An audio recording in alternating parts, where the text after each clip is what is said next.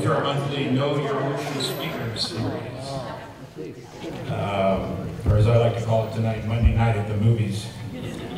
We've got uh, a real treat for you. Um, we have a special guest, Dan Dennison, who will uh, provide our presentation tonight. Um, my name is Mike Fogarty. I'm proud to be one of the members of the board of directors for Maui Nui Marine Resource Council. And um, I'll be here to introduce our guest tonight. Uh, we'd also like to give a big mahalo to Maui Ocean Center. Uh, they support us in many ways.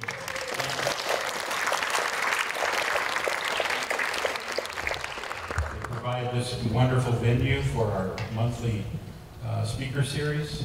And uh, tonight, as you can see, there's a special um, treat. They're going to show the humpback whale, Hawaii humpback whale. So it's, it's. You'll really enjoy it. We'll, uh, we'll do that after our short Q&A, after our presentation. Uh, so stick around and we'll pass out those 3D glasses. Our guest presenter tonight is Dan Dennison. He's a senior communications manager from the Hawaii Department of Land and Natural Resources. Um, he will introduce us to a new initiative from the Department of Aquatic Resources known as the Coral Pledge. So uh, during his talk, he will also feature a showing of Saving Coral. It's a half-hour television special produced by DLNR to educate the public about threats to Hawaii coral reefs. So a double feature tonight. Bear with me, I don't usually do this of stuff. So, who are we? Uh, Maui Nui Marine Resource Council, we're a small nonprofit. We're pretty lean. We only have three full-time staff on board. We get a lot of work done. They do an amazing job. We're all about healthy coral reefs, clean ocean, and abundant native fish. Uh, a couple of things here before we get started. I want to tell you that uh, I would like to ask you to silence your cell phones. And um, as far as restrooms, they're down, around the corner and out the door. Uh, also want to let you know that Akaku Community Television is filming tonight's presentation. And we're also streaming it on our Facebook Live tonight.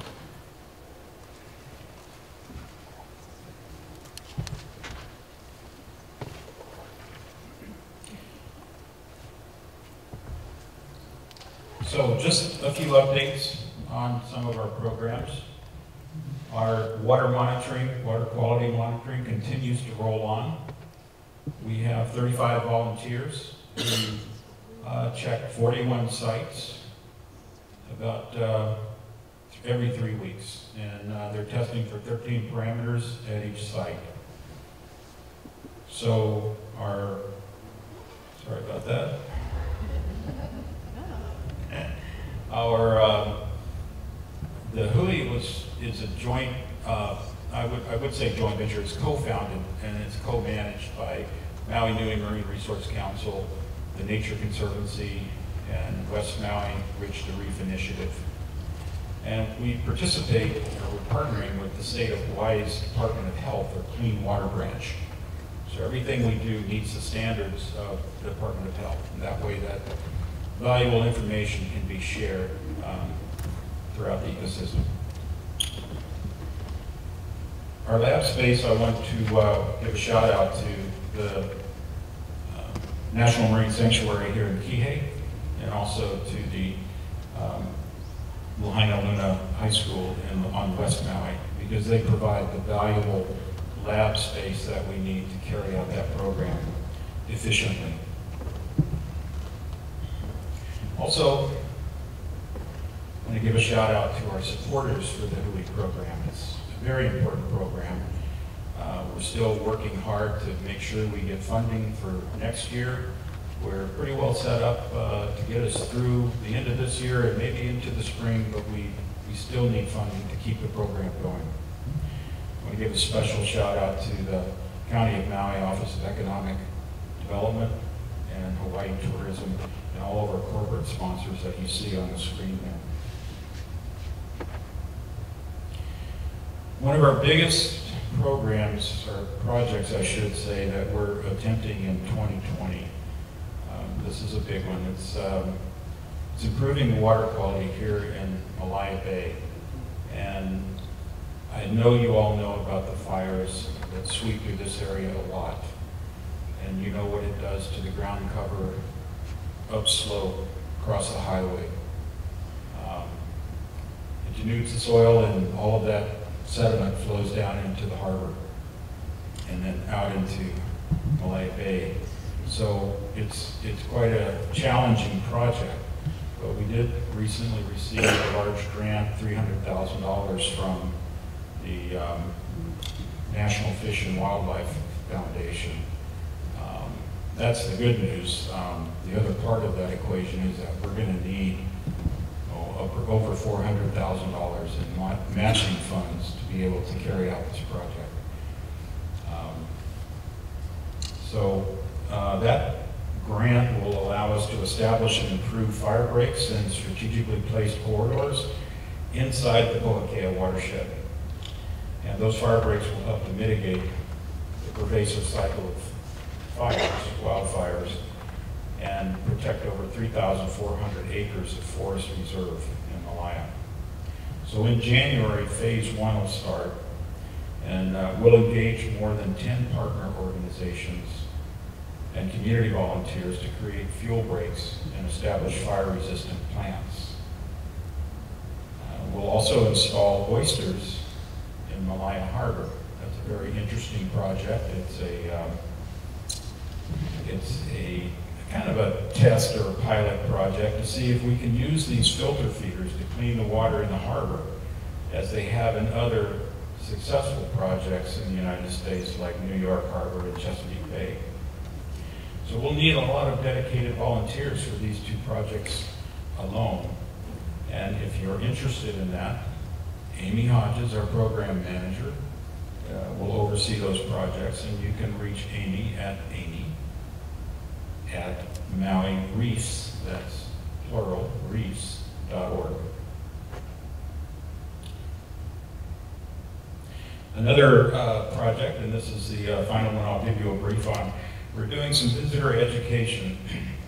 It's quite obvious we have enough visitors, we don't need to go out and solicit those visitors, so what we're doing is taking steps in a project uh, in conjunction with the County of Maui, Economic, uh, Office of Economic Development, the uh, Hawaii Tourism Association, and the Maui uh, Visitors Bureau. Uh, We're in the process now of installing signage in the airport, so the first thing our visitors will see are some ideas and some tips and just some little, you know, reminders that the coral is living and uh, all of those precautions we all know you need to take uh, to keep them from becoming injured. Um, There's, along with that project, there's a- a- another part, and that is to replace all of these beach signs that you've seen at your favorite beach that have been there for 10, 15, 20 years perhaps, and are now unreadable and um, somewhat um, scarred, et cetera. So we'll be replacing those throughout the next few months.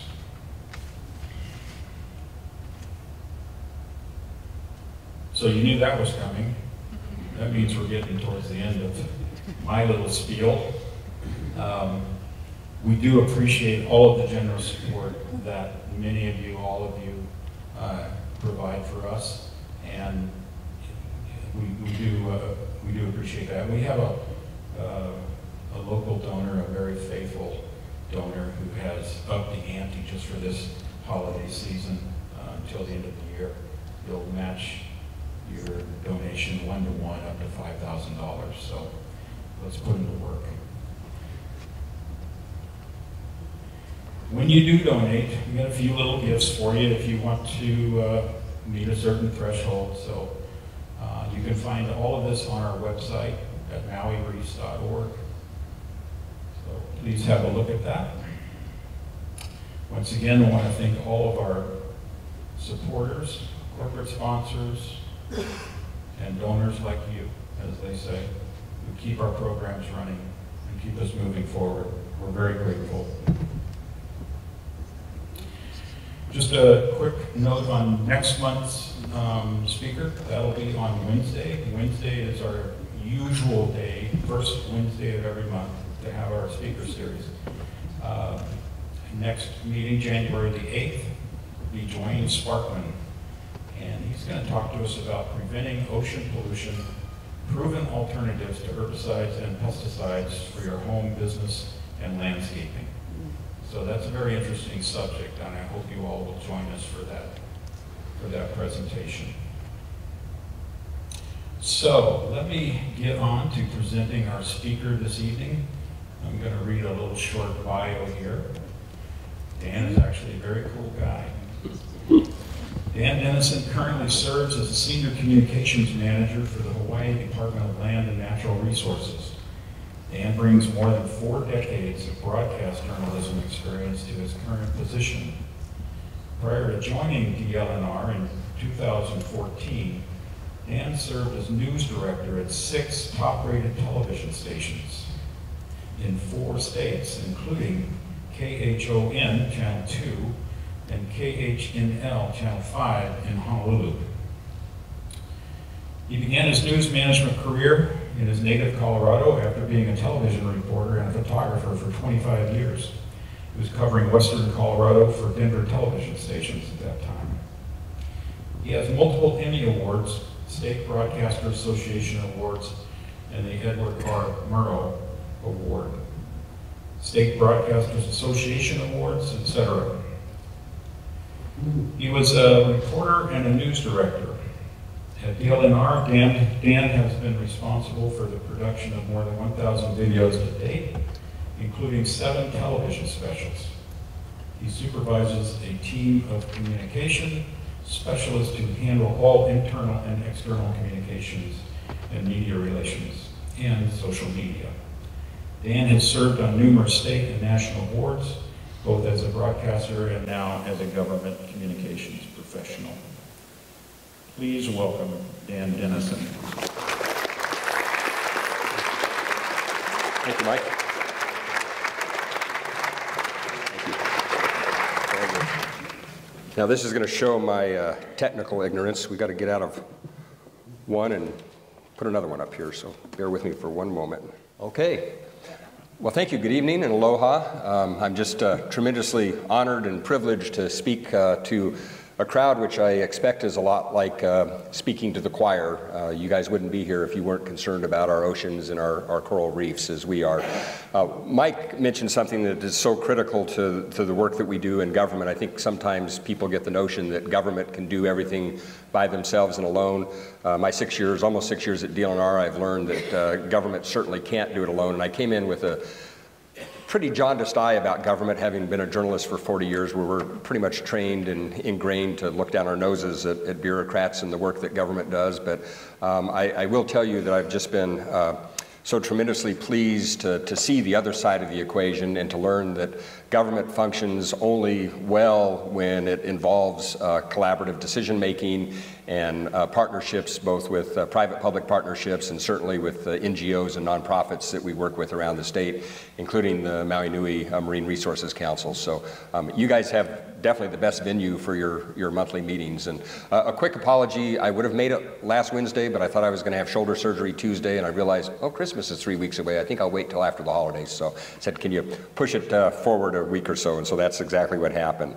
Uh, tonight I want to talk a little bit about the, the Coral Pledge, uh, saving coral, and toward the end, uh, Governor Ige's 30 by 30 um, Marine Initiative and let you uh, uh, get an update on that.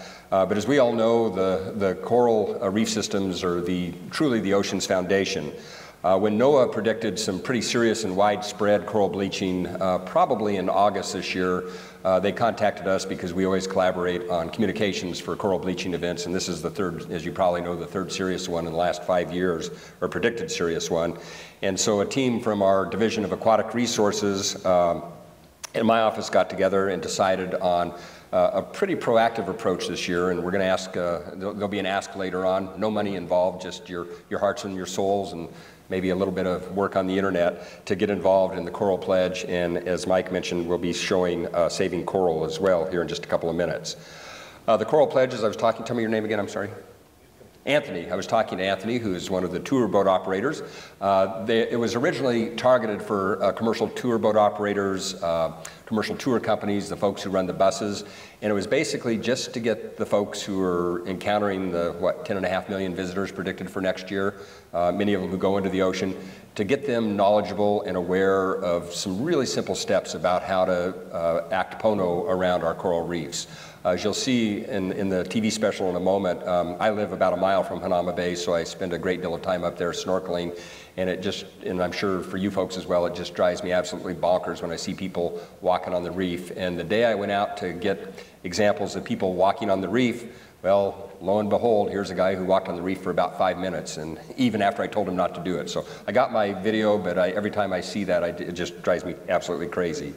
Um, we're really proud to have the Maui Ocean Center as one of the founding signatories of the Coral Pledge, and you can see the list of the other folks that have signed off, uh, signed up so far. I mean, I think last check there's about 14, and hopefully by uh, this time in January we'll double or triple that number, and uh, you'll learn that as individuals you can sign up to take the pledge too and help spread the word amongst the, the people that you interact with on a, on a daily basis. Uh, this is the Coral Pledge, and we'll talk more about it in a moment, but it really has six simple uh, points. Let fish protect reefs, corals like their space, stand on the sand, use reef-safe sunscreen, contain chemicals, and anchor your boats away from reefs.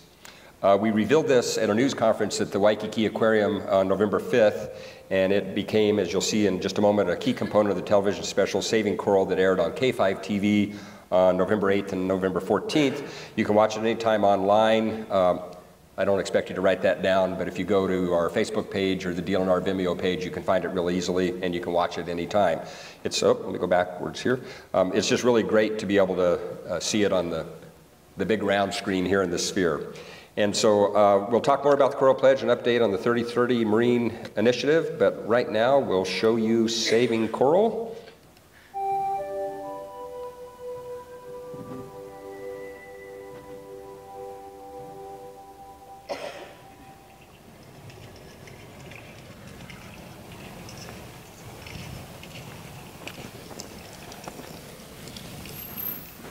Protect what we have. There's so much outside stressors that's happening, you know, with runoff, pesticides, you know, now we got sunscreens. Now, we do provide complimentary reef safe sunscreen, guys. I got a bunch up here by me. We got a bunch down below in the main cabin as well. Tourism. There's a lot of things that's pressuring the corals and, you know, it, it makes me worried because for me, I want to be sure that you know, coming from a fishing family, it's, it's very important that my kids grow up the same way that, that we did, you know, and be able to utilize our resources and, and also take care of them because pretty soon, without the corals here, especially with the bleaching that's going to be happening that we're anticipating, you know, that could, um, coral reef collapse could happen. And with that happening, the fish won't have a home, they'll end up moving away, and, you know, there'll be no resources for everybody to enjoy. That's Adam Wong, and I'm Brian Nielsen, and that's my wife Eva and daughter Mia. Aloha, I'm Luna Kikoa, enjoying a day at the beach with my wife Pahale and Keiki Naulu, Ke'ahe, and Mahina. E ho'omau i Kekoa. In Hawaiian, this means preserving our coral reefs. Adam, Luna, and I are just three of the many people across Hawaii committed to saving coral for our keiki and for all future generations. If you've been in Hawaii for any time at all, you already know that coral reefs are the very foundation of life in the ocean. They're living animals that support many other creatures. And our way of life in both the sea and on land. Hawaii's coral reefs, like reefs around the world, are under siege. They're on the verge of being lost forever. This means unless each of us does our part to save coral, we risk losing these beautiful, productive, and fragile ecosystems. As Brian said, to save coral, we all need to malama them and think about what we do in the ocean and on land, and whether our actions are pono. We'd like you to meet all kinds of people and groups around Hawaii who are making saving coral their mission. like a funnel. So as the surf hits this wall, goes out, and it comes through that opening, Please listen to their stories. From their words and their actions, we can all learn about saving coral. Ultimately, it is about our children, their children, and their grandchildren. Hawaii without coral is not a Hawaii as we know it. So it's fitting we first return to Adam, who spends a lot of time talking to keiki about saving coral. right? We're surrounded by water, period. We're surrounded by water. We have many, many corals, many fishes that live in Hawaii. So, common sense, we better protect that, right? Because if we don't want that, Hawaii not going to be Hawaii. We're not going to have the, the beautiful surf spots, the beautiful beaches. You guys not going to be able to go and enjoy and do that kind of stuff. Now, the bond is alive. Coral is a very delicate animal. If we don't take care, then we're going to end up with nothing, okay? A coral reef has all these working parts, okay? Just like one car. One car needs gas, needs spark, needs a carburetor, needs tires, need all that stuff. If you get one car, no more tires, what? Where are you going? Nowhere. You're not going to go nowhere. If you get one car, minus the gas line, where are you going? Nowhere, okay? Just like on coral reef. You gotta have all these pieces that can work, make this puzzle work. Because they get rid of a lot of the invasive algae, which we need for more native species to grow. Spot on, bro. Spot on. You're taking out the, the corals. What will happen? Gonna fall down, okay? You guys whole tower gonna fall down on the ground. Gonna be dust. We, we're gonna end up with coral reef collapse. And this is what coral reef collapse looks like, okay? It's that simple of just pulling out one of the key players on a coral reef. You can end up with something like this. And this is what we wanna stay away from. Because reefs, coral reefs has a hard time recovering once we enter, enter this stage. Reef education happens in classrooms. And many, many organizations and even commercial tour companies are joining efforts to save coral. for us, it is people like you that make a big difference. And, and we will be sharing. You make the difference, yes, absolutely. You would. The Kahalu'u Bay Education Center on the Hawaii Island is a program of the Kohala Center. They educate dozens, even hundreds of visitors every day. And because of what's happening to the reef here, they're taking simple steps to save coral in the bay while they contemplate some fairly drastic measures. Right now, we see a bay that is being loved to death. It is in uh, disrepair. We find that our corals are suffering. They are in decline. And Kahalu'u is a bay that um, has more of the, of the major stressors uh, affecting it. Um, Pollution runoff, cesspool um, um, um, areas right next to it. Um, We have um, thousands of people that come to the Bay every year. Some of the stressors like uh, cesspool conversion or pollution runoff, climate change, are very difficult uh, to mitigate immediately. But with sunscreen, we can do it immediately. When the corals are spawning, look at days to close and also look at carrying capacity on all of our bays that are being loved to death. And if we can work together, and I think the, the, um, the formula is just that. The federal, state, local, community, families of the land working together to heal here, Kahalu'u Bay, or in different areas, for instance, Hanauma Bay. It is all of us, because I believe together we can make a difference.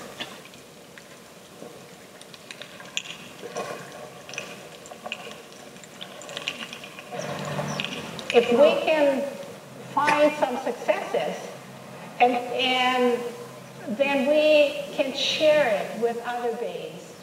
And, and hopefully, we will have um, the, uh, Hawaii Island where people will continue to come and enjoy it.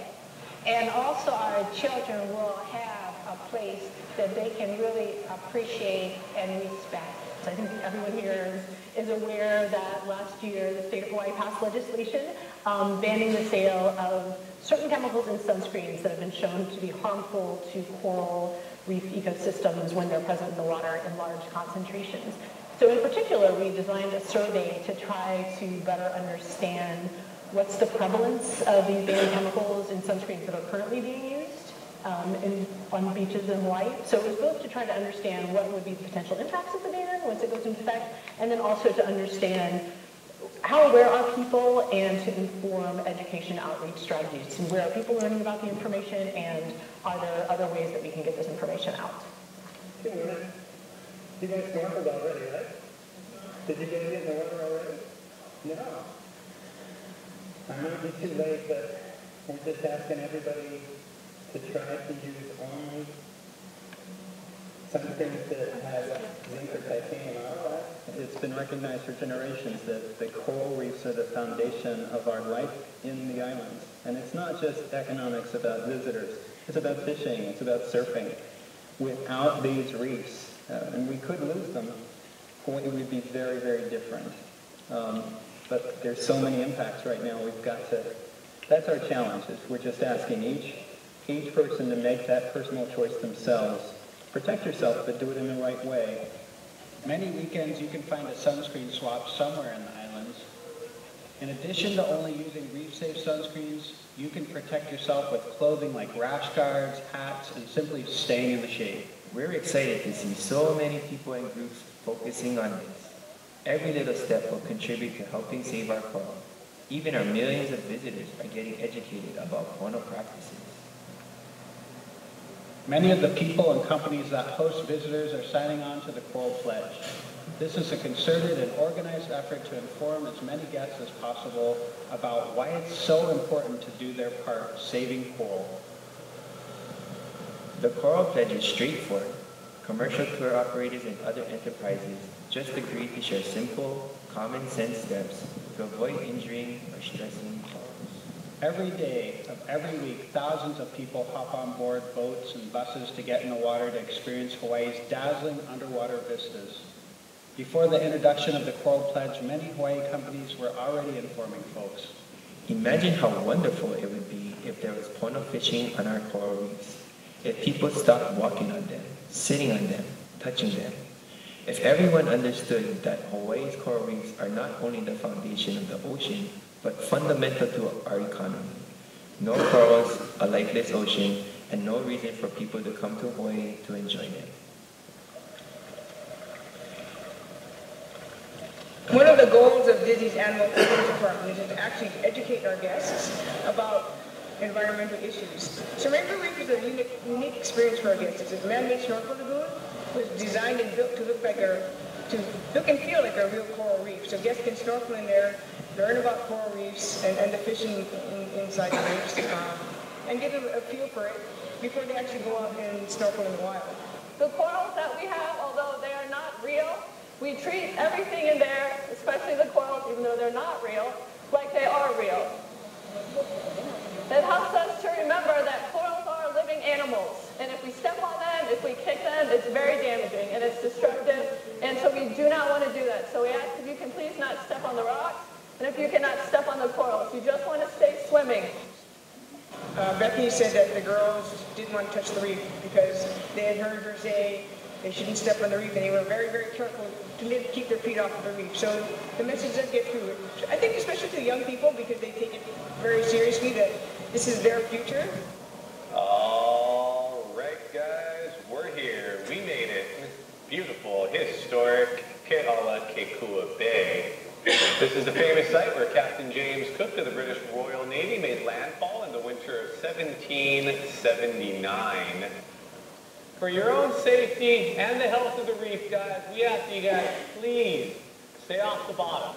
Don't touch anything. Don't stand up anywhere. And do not climb ashore at the Captain Cook Monument. Like I said, your own safety, but also the health of the reef. We've been in business almost 50 years now.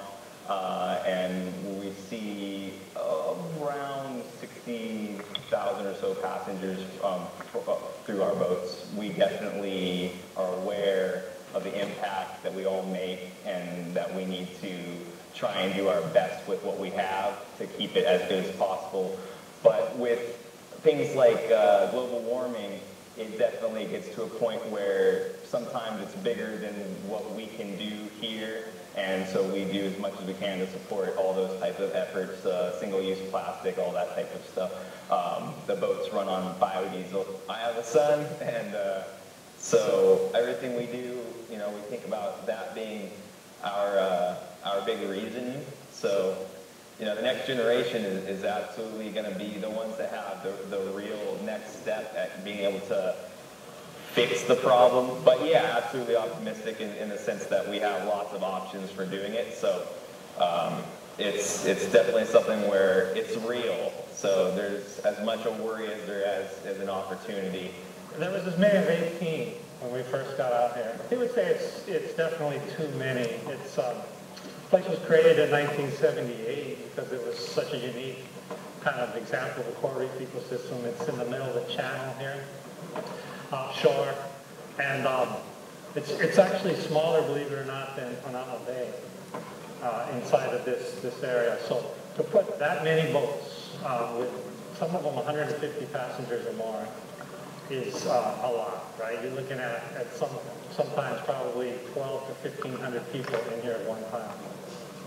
And so that, that has an effect, and we can't necessarily measure all of those effects exactly, but we have been able to, um, to look at what happens to some of the reef predators that are more mobile, and we found clear signs that once there's more than 12 boats, um, 50% of them or more are displaced from the area, particularly the bluefin trevally or the omilu this, this is a premier tourist destination. It's advertised as such. These companies um, depend on being able to take people out here to sell their trips on, a trip to Molokini, and, and they sell it as kind of a pristine, out-of-its-way nature experience. And so, we did do a study looking at social carrying capacity as well.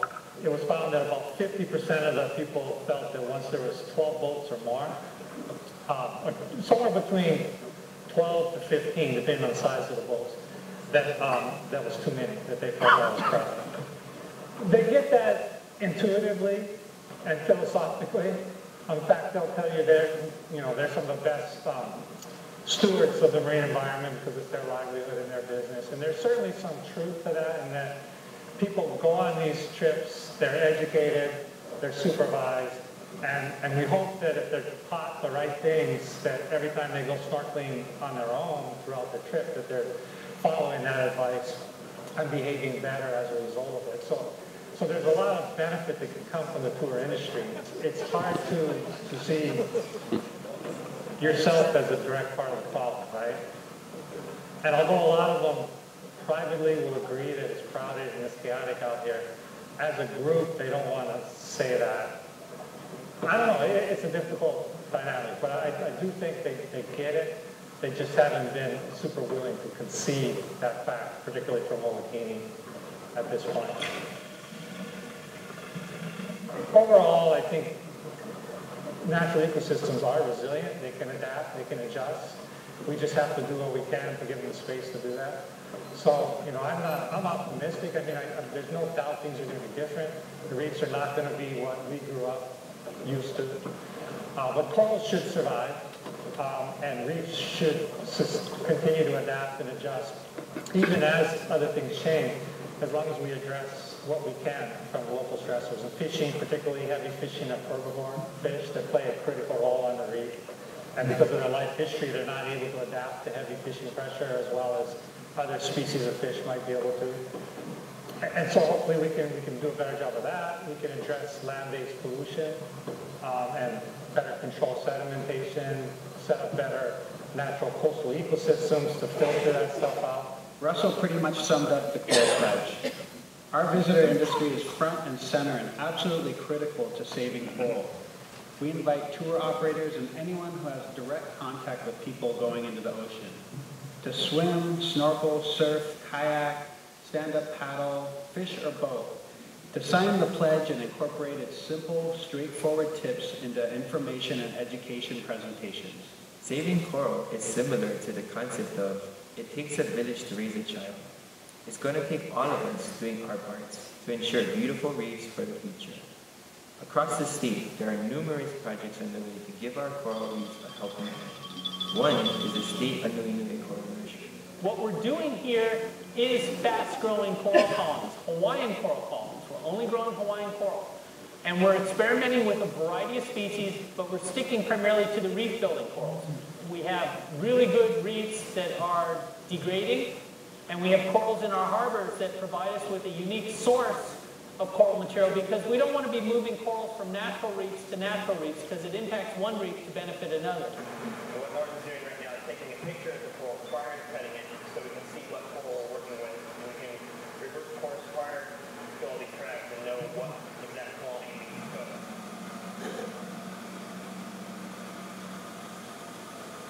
Because this hasn't really been done before, we needed a place where we could easily uh, monitor the status of, of these outplants, look for any problems that may occur, check their growth rates, their natural growth rates. Remember that we're fast growing them in the coral nursery. Uh, but once we put them out into the wild, they go back to the same growth rates every other coral in Hawaii is growing at, which on average is about one centimeter a year. It's amongst the slowest growth rates of corals anywhere in the world. And those slow growth rates make it very hard for reefs to recover naturally from human impact. So that's why we're giving them a little bit of help. When we transplant corals out into natural reef environments, we have to acclimate them because in the coral nursery, they're basically, it's like being in a five-star hotel. They're, they're given all the, the best food, the best lighting, the best water conditions. They're given lots of tender loving care. And, and together this allows these corals to grow at a fast rate.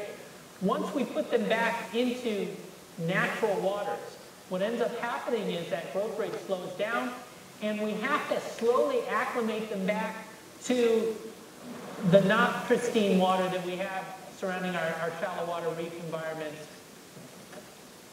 HIMB is the only scientific reserve in the state. So it has protected area status, very limited activities, there's no fishing, there's no trolling and stuff in here. HIMB is the University of Hawaii's Hawaii Institute of Marine Biology on Coconut Island and Kaneohe Bay. It too is doing cutting-edge research and projects to help our coral reefs along. It's also one of the sites of Hawaii's first Coral Palooza, held in the summertime to celebrate World Oceans Day. Billed as the largest one-day active reef restoration project, it gave Dave and his team another opportunity to put some coral modules from the nursery into a protected natural environment. Back in the classroom on Maui, Adam Wong's fishing class gets a stark but comic reminder of all the perils coral reefs face. See the decline of fish, like the lobster holes that I used to go to, the moi holes, the hole, the kumu, they're not there. Okay, they be displaced. We're overfishing them. Something's happening. Okay, so we're getting a lot of reduction in these species. So in this comic, you kid, he can go talk to an owner of an aquarium store. So what the kid is saying, he say, Mister, what do I need to create a realistic marine environment? Okay? So what he's doing, he's trying to build his aquarium at home. What the owner says to him, he said, in order to be realistic, you got to get agricultural runoff, coastal overdevelopment, unprocessed sewage, and depleted fish species. What he's pretty much saying is that if you wanted to have a realistic marine environment and you wanted to create that on your own, this is all the stuff that we're facing right now. On Maui, we're facing runoff. We're, we're facing overdevelopment, okay? We're facing overfishing. These are all issues that's happening within the communities, that's happening on our coral reefs. Our keiki are the best hope for reversing course and ultimately for saving coral. From young ages, they're learning about the threats to our reefs. Much like nature builds reefs, we adults must provide a solid foundation of understanding, appreciation, and malama to pass on. It's what I want from my keiki. I also want them to understand that not only is coral, or in Hawaiian, ko'a, really important for the health of the ocean, ko'a is key to our culture. Dad, how reef part of our Hawaiian culture? Great question, Noah. There's a lot of places where in Hawaiian culture, starting with the Kumulipo, right? So it's a creation chant, the genealogy of the Hawaiian people. And corals is one of the first things born. So because it's one of the first words, it's our ancestor, kupuna, right? So it's one of our connections to the coral, is that connection back to the resources. And the corals are the foundation of the coral reef ecosystem. And now, do you remember Komolambe? Yep.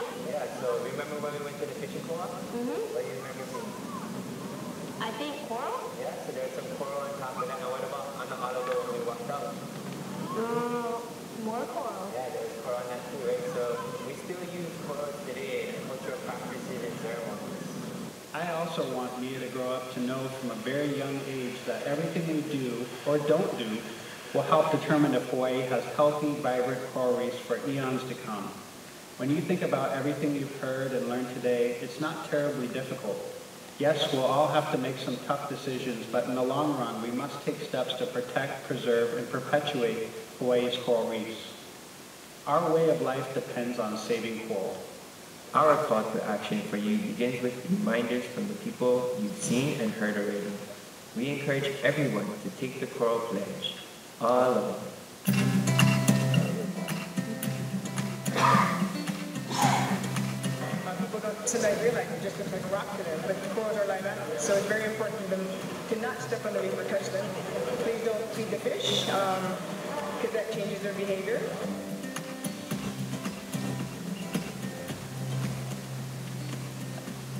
to address land-based pollution um, and better control sedimentation, set up better natural coastal ecosystems to filter that stuff out.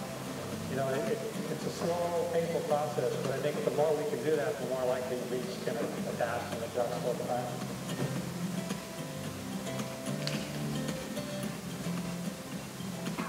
it's still something that I love to be able to share with people to see because no matter if you've seen it before or not, at this point we can still see it and we still have a chance to help uh, make sure that someone else might see it after. Sunscreen won't reduce all the damage that's happening to our reefs. There's problems with sedimentation and ocean warming and acidification, but one straw that we can take off the camel's back, I, I believe, is one swimmer at a time, one snorkeler at a time, one surfer at a time, is the sunscreen. The sunscreens that we now use, modern sunscreens, have some toxicity problems.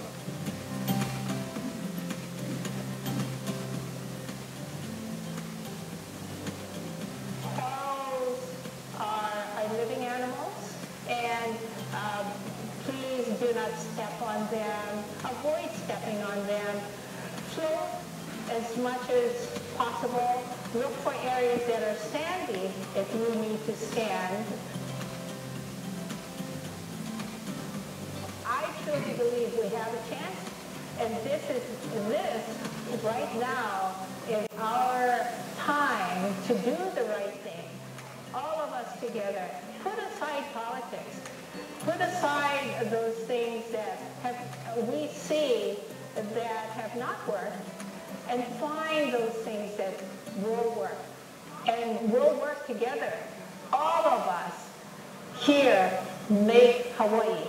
And my grandpa always said, if you live Hawaii, you love Hawaii, you are Hawaiian.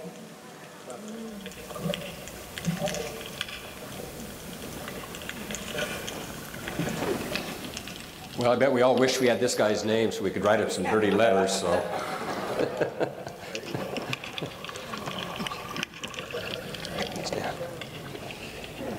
I, I should have timed that shot, but I bet he walked across that reef for two and a half, three minutes. And granted, the interior of Hanauma Bay is mostly rubble at this point in time, but it was just the, the notion that he supposedly watched the film and understood what not to do, and even after I told him, he persisted. So that's one of the issues that we have to deal with now. So I'm going to go ahead and get out of this, hopefully. Well, thank you for watching. Appreciate that. So as I said, we announced the Coral Pledge uh, back the, around the first, uh, of, and I says December 5th. I didn't edit this very well. It was actually November 5th. Had a lot of media coverage. Uh, NOAA provided an update on coral bleaching. You may have heard. Uh, the good news is it wasn't as uh, serious uh, as they first predicted, probably as widespread.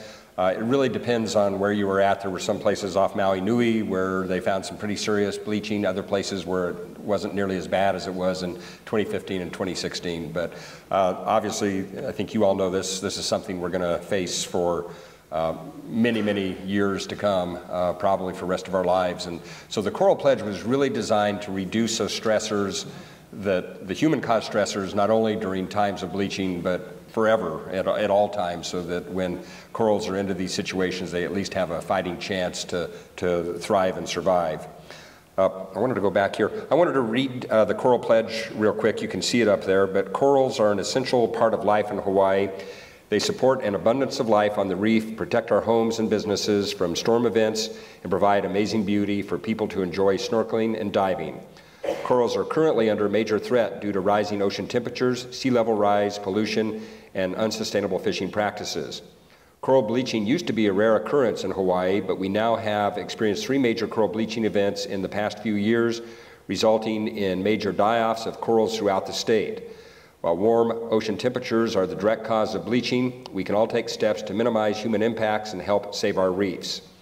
In our global state of climate change, to interact with our natural resources responsibly is to minimize our impact on our natural environment. By following and promoting the acts outlined on the other side of this card, you are committing to practices that help to conserve our coral reefs. Thank you for joining the DLNR Division of Aquatic Resources in the stewardship of our treasured coral reefs. Your commitment to conservation of our marine environments will set a standard for all marine resource users. We're looking forward to expanding this community of environmental leaders to work together to protect the very environments that sustain our lives and livelihoods in Hawaii.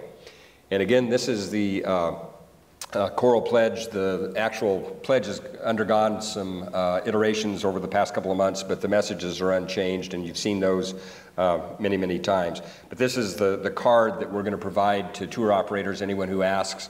Uh, we're, we're, not going to be able to give cards to, to everyone, but we're, again, the hope is that the, the people who actually interact with our visitors will have these cards and can read them and, and answer questions based on the cards.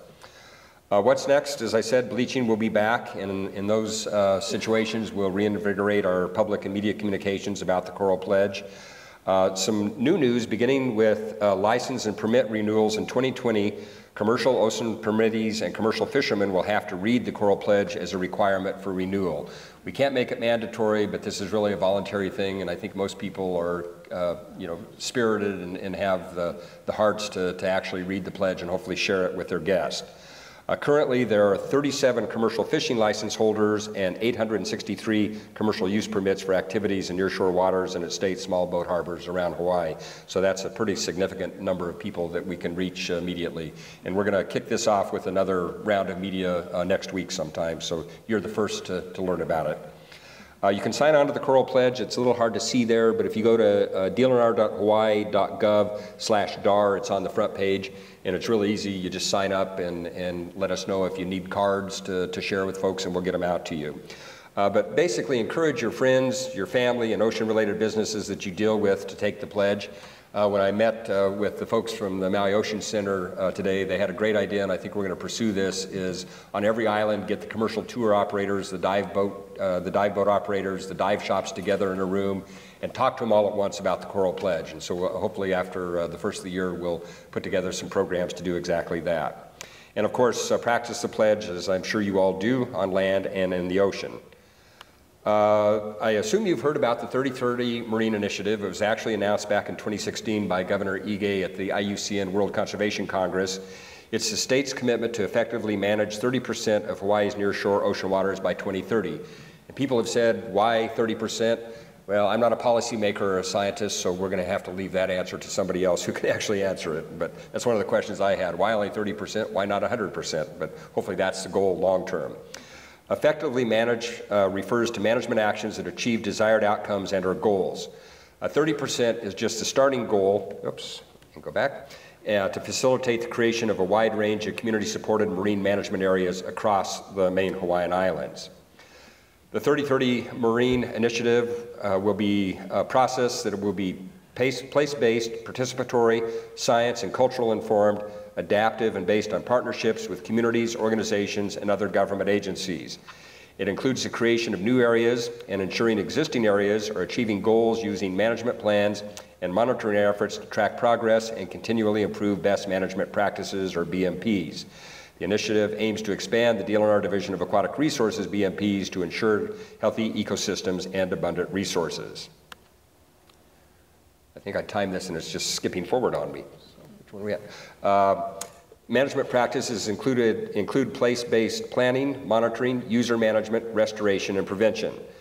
Pono practices, sustainable and environmentally responsible use of marine resources, uh, monitoring multi-agency collaborations for data collection, citizen science contributions, and community-based monitoring, a lot of the things that the, the Maui Nui Marine Resources Council is already doing on the south and west shores here. Restoration and prevention address threats to nearshore ecosystems such as invasive species, coral restoration, and runoff. Uh, what's next from DAR? Uh, in 2020, the Division of Aquatic Resources will officially launch Holomua Pathway to 3030 community engagement meetings across the state to gather input, ideas, and concerns evolving into community-driven plans focusing on select marine management BMPs ideal for each place. So I would encourage all of you in Maui Nui to watch for those meetings. I'm told that there's probably going to be about two dozen of them starting probably in March or April of next year. And uh, really encourage your participation, your thoughts, and your ideas, and your uh, kokua. Uh, meetings will offer communities and all stakeholders the opportunity to engage with DAR staff and scientists. Uh, DLNR and DAR are committed to the initiative long term, even after the current administration is no longer in office. Uh, DLNR and DAR are committed to effective management actions derived from collaborative community based planning and input, and we're committed to restoration, preservation, and perpetuation of Hawaii's unique and fragile marine ecosystems for today and the future. And that's all I have, and we have time for some questions. Yes, sir.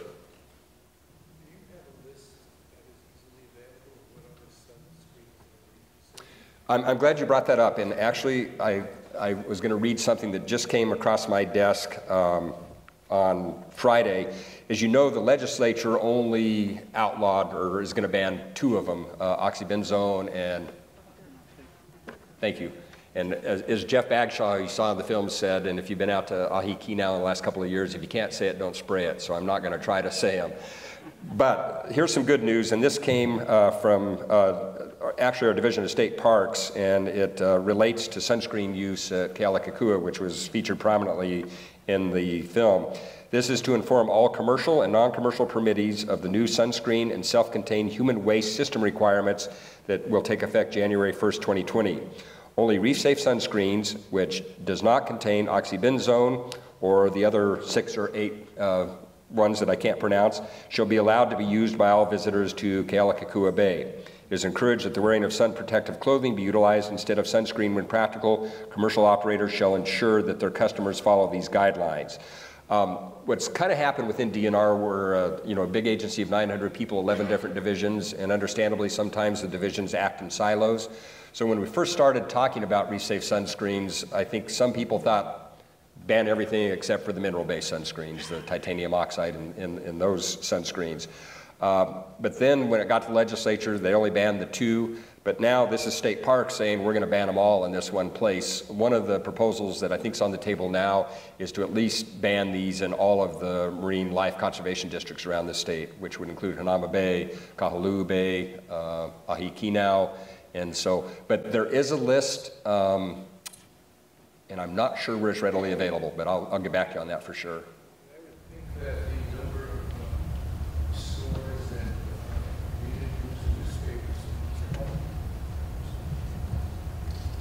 Publishing that uh, so that it becomes a source of community education for the schools. It should be distributed to every school so the kids have it. It should be, because they'll just keep choosing the same things they've always chosen unless there's a very specific education process, unless that list is really clear. Yeah.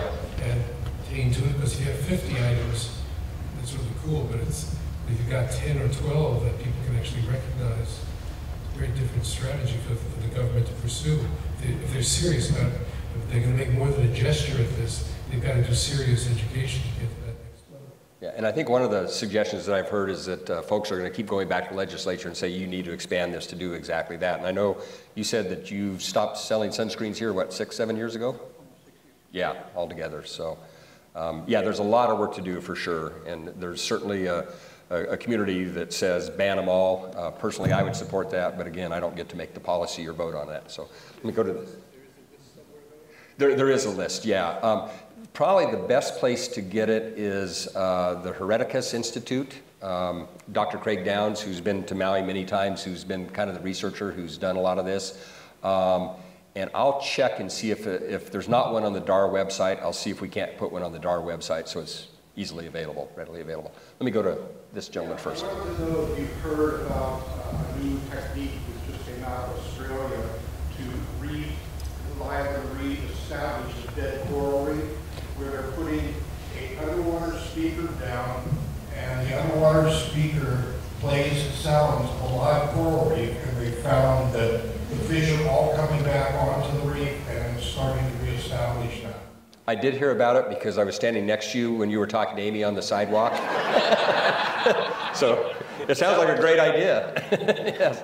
You can do a, anybody can do a search on, uh, just put in uh, coral reef and speaker, and you'll get like dozens of hits on it to find out about that. Great. I'll pass that along to the, the folks at DAR for sure. Let me go to this young lady back there with her arm up, or whoever you can get the microphone to. Great, thank you. Um, so I've noticed when you fly into Hawaii, you have to fill out a form from the USDA, and it's very careful about uh, vegetables and fruits, so there's a lot of protection of the land. But what I'm wondering is, while you're on the air, airplane, why you can't also be given a form that says, um, do you have sunscreens like this? And they need to be taken out of your luggage the same way that they would take fruits and veggies.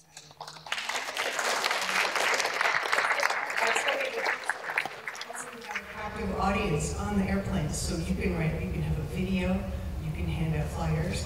Once people land at the airport, you can have someone with a sandwich board wearing it and giving out sunscreen samples of safe sunscreen.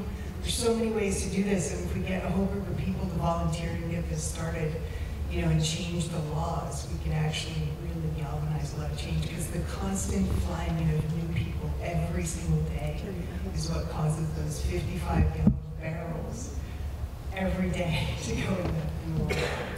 Patty and I talked about that this afternoon, that uh, it's, it's too bad that Hawaii can't do uh, what Palau has done, where you have to sign a pledge and you actually have to donate some money to, to get enter, entrance into the country. I shared with him this afternoon, I'm from Colorado. Mexico a lot to snorkel. There's a place on the Yucatan uh, Peninsula called uh, and it was a great snorkeling spot. And this probably is 25 years ago, and every time you went there was a man standing there, and he would take his finger and touch your skin. And if you had any oil, you had to take a shower right there before you went in the water. I thought, they did this in Mexico 25 years ago? What the hell's the matter with us? So, so but you made a good point. Um, you know, this a lot of this stuff really starts with your lawmakers. And so all of us talking to our lawmakers, uh, letting them know that this is important. You know, the, the key is really, and I, and I think the, the tour operators realize this, as Russell said, on, on one level. I mean, we killed the corals, we killed the tourist industry. So there should be a lot of reason for protecting corals because that's what ultimately drives, you know, our, our economy overall. So unfortunately, I think we live in a society where, you know, money talks. And if we can put it in those terms with the folks that are making the decisions, I think we'll get their attention. And we are, and, and again, the, the work that Maui Nui and a lot of other groups around the state are doing, are getting there. But uh, it's just too bad there can't be one giant collaboration to, to make some of the things happen that you just mentioned. But I think great idea, great idea. And I'll, I'll take a lot of these back and, and pass them on to leadership, I guarantee you. So, yes. Hi, I've been a, a diver here for about 45 years. And one of the things that I don't think gets addressed, but it's, it's really disturbing to me when I go out, is seeing fishing line all over reefs. Yeah. Uh, stainless steel line, monofilament line, great big huge lead weights. I mean, there's been times where I've to be down there with side cutters, cutting the stuff loose, and I, I've seen turtles with the stuff wrapped around their necks and around their fins. And to me, it seems like one of the, the bigger threats out there because there's so much of it. I mean, it's just gotten worse and worse over the last few years. Yeah, I, I agree, and I, I don't dive much anymore, but I do snorkel a lot. And uh, Ocean Defenders, which was one of the early signatories of the Coral Pledge, they've actually committed to uh, go to Hanauma Bay uh, like once a month and clear out all the derelict fishing gear. It's a, it's a huge problem throughout the Pacific. A lot of it is generated locally, but a lot of it's not generated locally. It just comes in uh, Kamilo Beach on, on the Big Island. I've been out there a couple of times, and they just get you know tons and tons of this fishing gear that either gets dumped off boats or lost off boats. It's a, it's a major problem. And, um, you know, it's, it's tough because, again, you're dealing with an industry that has a lot of lobbying power, power and a, a lot of money and, you know, creates a lot of economic value for the state, clearly, and produces all the fish that I assume a lot of us like to eat on occasion. But yeah, it's, a, it's another issue. It's, it's sometimes when I'm out interviewing people from DLNR and some of our partners, I, one of the questions I always ask is, how do you keep doing this in the face of all the things that we're facing? And uh, almost to a person, they're very optimistic and forward-thinking, and a lot more than I tend to be, because sometimes I think, oh geez, if we don't get a handle on this stuff really quickly, you know, we're, we're, we're doomed to failure uh, if we're not already there. I hate to be a, a bearer of bad tidings, but it's, it's just, but again, I think you guys are in this room because you do want to do the right things and you are doing the right things, and I think all of us together, that's what we just have to keep striving for. I can hear you, but I don't have my glasses on kind of see you Aloha. One of the um, things on your list is to allow the, the fish to clean the reefs. And of course, we know the parrotfish and the herbivores are the ones that eat the algae and keep the reef healthy.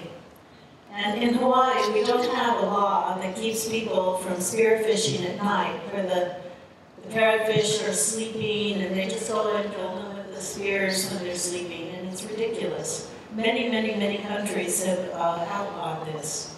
And that's only one of the things we need to do.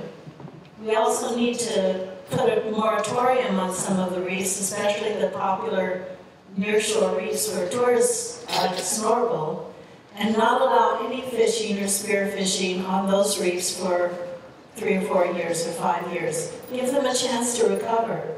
I've lived in Hawaii 45 years. I swim almost every day, and the diminishment of the fish on the reefs is just astounding.